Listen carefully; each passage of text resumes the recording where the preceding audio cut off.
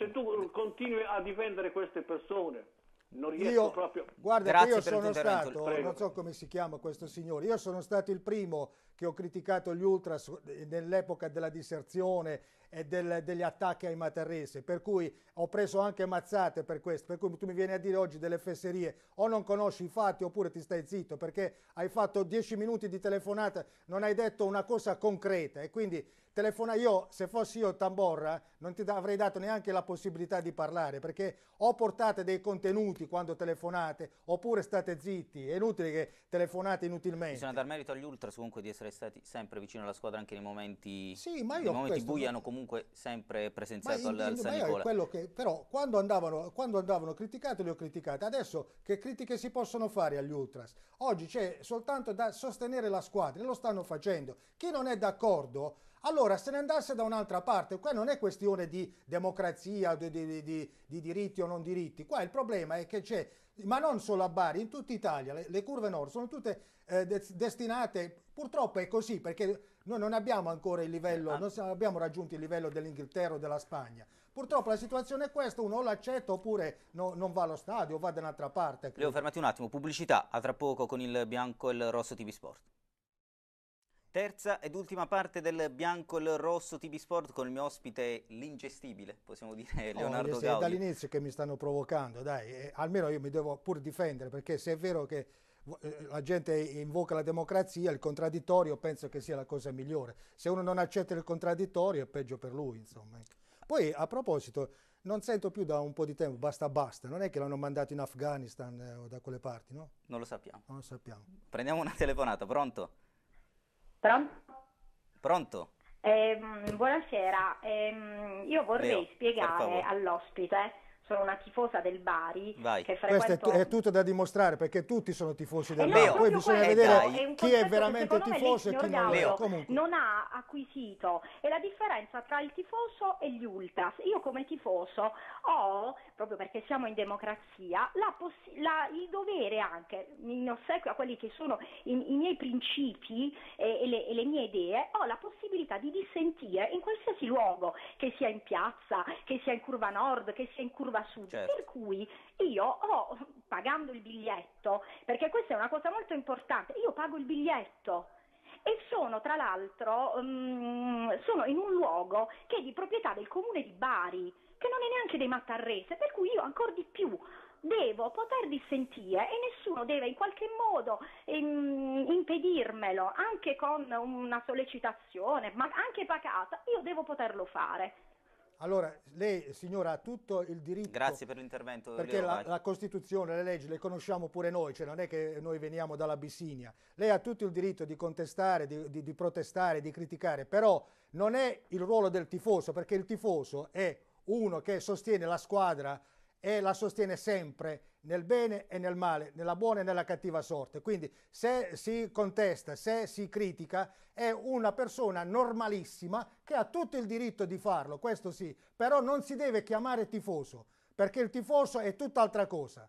E certamente non è quello che eh, eh, bestemmia allo stadio o che eh, fa dei cori offensivi di quel, di quel genere allo stadio contro un presidente che non lo merita. Per cui lei può fare tutto quello che vuole, anch'io sono contrario al fatto che gli ultras impediscano agli altri di poter criticare, però non si deve definire tifoso, perché il tifoso è colui che sostiene sempre la squadra.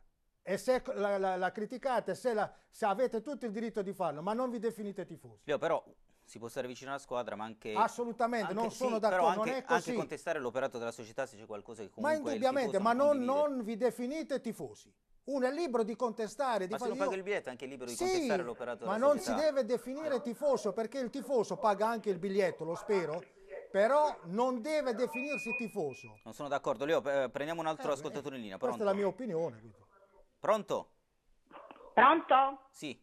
No, io sono ancora in linea per Ah, mi scusi, no, che non, sa- non queste- sapevamo. perché- questo Però lei non, non si questo è- definisca Leo, No, no, tifoso. guardi, eh. guardi, no, no, non consento che lei de- de- debba dettare um, una definizione. Lei non è nessuno per dire chi è No, tifoso chi non è tifoso. non l'ha Io detto. sono Calma. tifoso anche riman- rimanendo a casa pur non frequentando lo Signora, stadio. signora, io non, non- non faccio io le, le definizioni, le regole, si va dal- a leggere sul vocabolario la parola tifoso e vede il significato della parola ultras, tifoso. No, che non vuol Non dire c'entrano ultras. gli ultras, li c'è metta da parte gli ultras. Si arroga il diritto di poter dettare delle regole allo, allo stadio. Nessuno sta- di più, sì. no, le dico di più che io eh, le- la stagione scorsa sono stata in tribuna con dei miei amici romani, la partita Bari-Roma, i miei amici romani che sono stati zitti per tutta la, la- la partita, alla fine hanno preso due ceffoni da due tifosi, da due ultras. Ma questo è sbagliato, è da condannare, Eh no, è da e ha condannare. Un capo, un ex capo ultras che ha un locale a Bari Vecchia, ma che sei andata a fare in tribuna? Potevi vedertela a casa con i tuoi amici. Per me questo è veramente un, um, la, la- la- proprio la, negazione, la negazione di qualsiasi diritto e anche proprio de- delle regole. Cioè il calcio, il calcio è um, un, un momento aggregativo.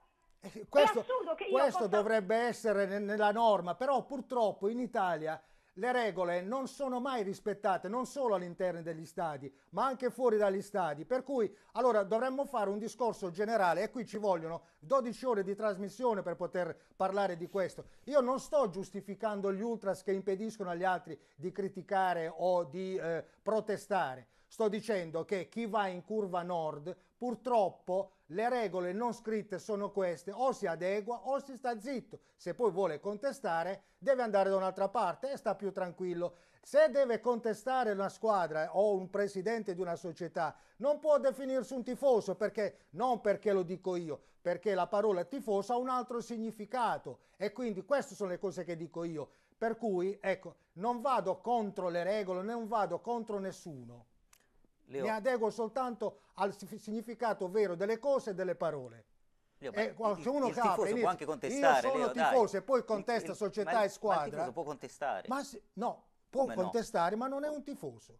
Questo è tutto. Ma Poi una persona poi è libera di diversa. contestare, eh, che è chiaro. Leo, tu hai, ovviamente hai sposato anche la linea, eh, la linea societaria di, dei Ma Matarese, al però 100 per mille, ma, ma non però perché sono- i, i mataresi hanno bisogno del mio sostegno, della mia difesa, perché oggi è, No, Leo, bisogna bisogna- essere grati a, grati a questa famiglia perché hanno garantito in una città che diversamente non l'avrebbe meritato 33 anni di calcio a livello professionistico. sono state fatte cose Poi- buone e meno buone. Ma indubbiamente, indubbiamente, perché qui c'è un'anomalia, scusami, no, perché è importante parlare anche di questi discorsi per non essere ripetitivi nelle trasmissioni. Qui c'è un'anomalia di fondo, c'è una piazza che si definisce grande e ha tantissime esigenze.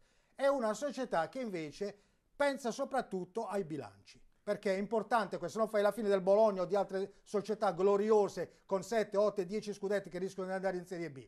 Per cui, ecco, se noi ecco, aggiustassimo un po' il tiro e considerassimo la piazza una piazza di- da provinciale, una piccola piazza, e la mette- mettessimo in linea con quelli che sono gli obiettivi e eh, diciamo le, le potenzialità di questa società, staremmo tranquilli oggi noi.